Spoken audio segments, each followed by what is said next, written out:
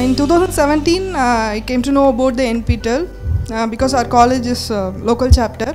So it is systematic learning. That was uh, a very wonderful thing I feel uh, with the NPTEL. So even uh, many people who don't know about the domain scholar certification. So systematic way of learning and discipline. So those two are the very important thing I learned from NPTEL. I'm VR Azhaguramya, working as assistant professor in uh, computer science and engineering department, Sri Krishna College of Engineering and Technology, Coimbatore. I'm here because um, I got domain scholar certification in systems domain. Uh, in 2017, uh, I came to know about the NPTEL uh, because our college is uh, local chapter. So through the spoke, I get to know about this, and uh, for each department, they used to set a coordinator. So I was a coordinator in our department, CSC department. So I used to go and attend the meeting with the spoke. So then I came to know about it. And in our college, it is mandatory that uh, before taking a course, you must produce one MOOC certification in that course. So then only it is like, uh, so uh, they allocated me IoT.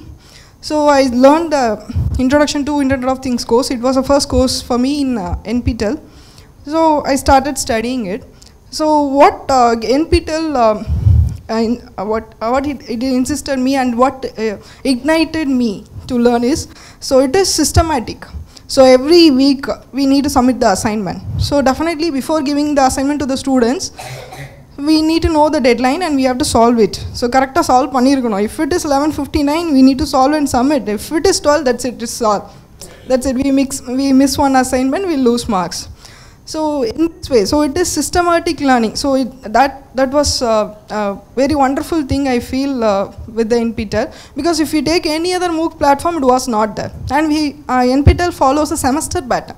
So we used to take one course or many courses in each semester. And once it is over then the enrollment again will be open in another semester.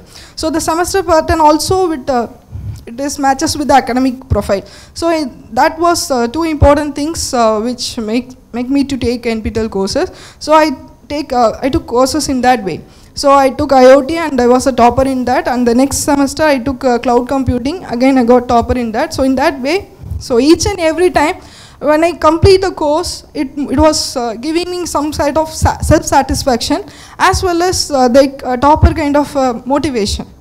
So for a course and all, they will get a top one percent, top two percent. So which gives me okay. So I have to more. I am um, I am eligible and as well as I am interested to learn. So in that way, I came to know about it. And in 2020, I came to know I got a mail uh, related to the domain certification.